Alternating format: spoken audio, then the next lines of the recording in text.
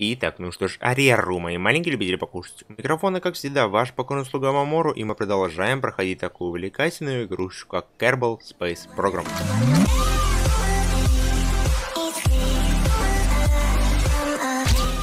У нас с прошлой серии осталось еще парочка испытаний, которые мы должны сейчас выполнить. Для этого мы загружаем с вами наш космический аппарат. Как только мы оказываемся на взлетной полосе, мы сразу активируем стояночный тормоз, даем немножко газу и активируем наш двигатель для того, чтобы он смог у нас прогреться. Дальше мы активируем метку на карте, в которую, в принципе, должны будем лететь. У нас есть три места, где мы должны, в принципе, собрать температуру. Температурный датчик у нас находится вот здесь вот в отсеке, и мы должны сейчас взлететь и его активировать. Не забываем активировать САС и убираем стояночный тормоз. И летим у нас навстречу нашим приключениям. Все, у нас отрыв от земли произошел. Если бы была возможность убрать шасси, я бы обязательно это сделал. Сейчас я пытаюсь выровнять курс. Экстренная активация аварийного протокола.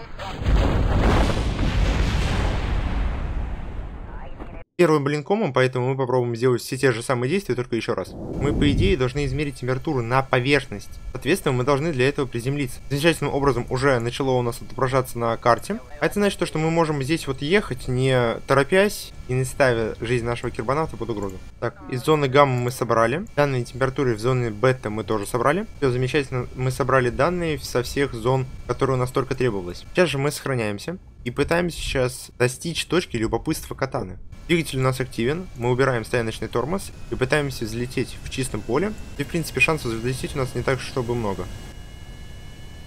Выравниваем курс. Прежде чем начинать полет, и мне хотелось бы уточнить маленький нюанс. Бабион, ты еще тут? Всегда готова спасти чью-то жизнь. Ты можешь включить мне автопилот самолета? Всегда к вашим услугам, сэр. Включи мне удержание высоты, удержание курса и удержание скорости примерно на нашу точку назначения. Вынуждена вас предупредить. Автопилот находится еще в разработке и возможны сбой. Желаемые настройки выставлены. Мы собираем данные и подготавливаем, по идее, доклад экипажа. Несмотря на то, что наш автопилот немножко чудит, я думаю, то, что у нас все более-менее хорошо. И мы все равно будем пока лететь на вот эти вот искупления фрилансера. Курс примерно на 140. И включаем наш автопилот и надежда на то, что все пойдет у нас по плану. Так, по идее, мы сразу же достигли этой точки и доклад экипажа. Все, замечательно. Три миссии мы выполнили. И значит то, что мы можем, по идее, отключать автопилот и заходить на посадку на нашу взлетную полосу. И сейчас, в этот раз, мы попробуем вместо аварийного катапультирования аккуратно приземлить наш взлетный аппарат. Так как автопилот никто сажать у нас не учил, нам сейчас придется сажать наше транспортное средство абсолютно вручную. Можно примерно начинать гасить скорость, заодно включая реверс нашего двигателя, что позволит нам ее знатно так сократить.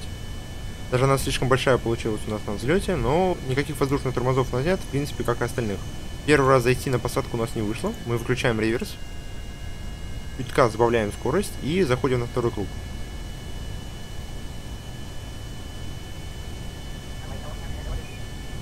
Экстренная активация аварийного протокола. Идеальная посадка у нас опять не получилась из-за нехватки всяких научных данных, и в итоге у нас все-таки опять села вот эта вот маленькая наша конструкция. Мы собрали 35 очков науки за эту миссию и выполнили самое главное некоторые наши задания. Теперь же Всемирное сообщество регистрации рекордов ставит перед нами следующие цели. Выход в открытый космос на орбите Кербина также парковка двух космических аппаратов друг рядом с другом и пересадить также двух кирболят между аппаратами на орбите. Задания в принципе изичайшие, но мы можем столкнуться с гигантским количеством проблем, начиная с проблем, которые касаются отсутствия у меня навыков стыковки в автоматическом режиме, заканчивая отсутствием у нас в принципе любых стыковочных модулей, которые только у нас открываются с развитием науки. Помимо стыковочных модулей, нам также не мешало бы изучить обычные фотоэлектрические элементы, чего мы, естественно, сейчас изучить не можем, из-за того, что у нас банально не хватает науки. Но с другой стороны, нас и не просит выполнять стыковку. Ладно, мы возьмем это задание, но я не уверен, что у меня получится выполнить. Если же нет, то придется от него отказываться. Сейчас мне нужно будет построить примерно две одинаковых конструкции, которые будут способны выйти в открытый космос. Примерно как-то так будет выглядеть основная часть нашей ракеты. Это немножко модифицированная версия ракеты Марк 1, которая просто у нас летала раньше, только без научного всякого оборудования. Потому что наша миссия будет заключаться абсолютно в другом. Я поставлю здесь два ретранслятора наших. Также поставлю здесь парочку аккумуляторов, в надежде на то, что они помогут сохранить электроэнергию и все у нас не пойдет по одному месту. Я не знаю, как мы будем это делать без банального монотоплива, без банального всего. Основная часть нашей ракеты, 4 твердотопливных двигателя, рассчитана на то, чтобы наша ракета вышла за пределы атмосферы. Вертлявый двигатель, который у нас имеется, рассчитан на то, чтобы мы вышли на орбиту. И ты тут? К вашим услугам. Ты можешь мне помочь э, с выходом на орбиту? К сожалению, для этого маловато данных, но разработка автопилота в процессе. Ладно. Значит, опять-таки мы будем это все делать вручную. И пуск нашей ракеты. Еды у нас хватит на 127 дней. Нашему кербонавту это очень даже много, возможно, будет. Но лучше перевзеть, чем обосраться, правильно? Отстыковка твердотопливных ускорителей. Антенна здесь я повесила для того, чтобы проверить связь с Кервином, будет ли она у нас вообще, и как она у нас будет здесь работать. На этот раз наши технологии позволяют использовать планировщик маневров и выход на орбиту благодаря маневру.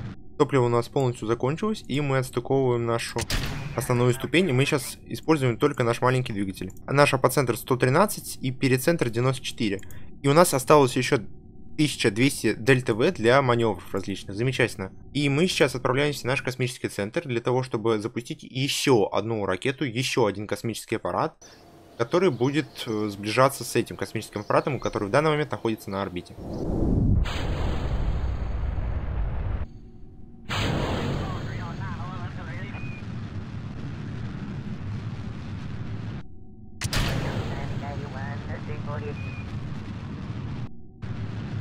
Мы вышли, получается, замечательным образом на орбиту. Только я наш апоцентр хочу поднять сейчас примерно до 500, возможно, до 300 примерно. Для того, чтобы мы имели большую скорость, нежели пролетающая вот здесь вот наша ракета, и мы могли ее тем самым догонять и, возможно, пересечься с ней какой-то точки. Беспонтовая это, короче, тема. Нет, сближаться это абсолютно не мое, и не выполню эту миссию вообще ни при каких условиях, даже не заставляйте. Без помощи искусственного интеллекта я не умею это делать. Я попытался, тут около часа здесь провел, пытался исправить как-то орбиты, нет, извольте. Мы сходим сейчас, получается, нашими космическими аппаратами с орбиты и надеемся на чудо. Возвращаем мы, получается, второй наш космический аппарат, который смогли вернуться битым. И у нас есть плохие новости. Мы ничего путного из этих миссий не принесли и только потратили наши финансы. Отменить, к сожалению, мы этот контракт никаким образом не можем, так как и выполнить его, потому что я банально слишком рукожопый для выполнения подобного рода контрактов. А вот на самом деле туризм космический звучит уж более радужнее, нежели те задания. Двое туристов хотят просто выйти в космический полет.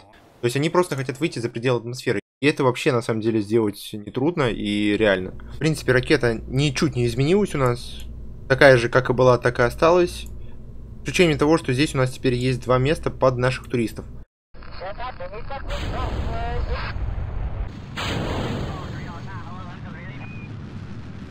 Мы очень замечательным образом выполняем нашу миссию. Получается, отстыкуем мы с вами нашу уводящую часть гигантским количеством топлива, которое там осталось, и продолжаем лететь против движения, надежда на то, что мы сядем где-то в открытом море. Ну и наше приземление произошло замечательным образом успешно, пускай и не с первого раза. Получили какие-то крохи науки, но самое главное, мы выполнили миссию с нашими туристами. Одна из следующих миссий – это передача или возвращение научных данных с Кербина. Звучит очень просто, и мы, пожалуй, воспользуемся Марком 1, только немножко модифицируем его в научную версию.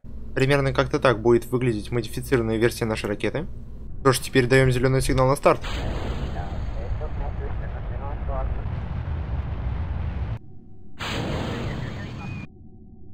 Сейчас, по идее, мы на орбите Кербина. Правда, не на самой солнечной ее стороне. Мы пытаемся собрать те крохи научных данных, которые мы можем здесь это сделать.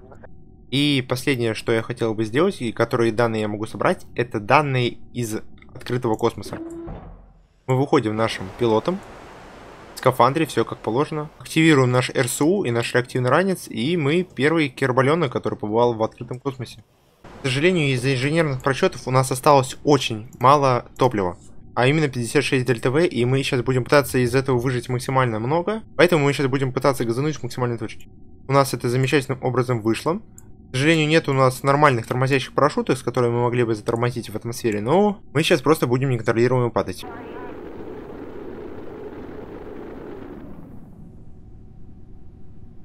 Скорость у нас перестает расти, а это значит, что пора открывать парашют. Его у нас не сорвало ветром.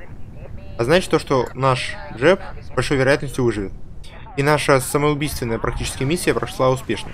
Мы Забираем 79 очков науки за эту миссию, что достаточно является большим числом. Но для нас, к сожалению, это будет маловато.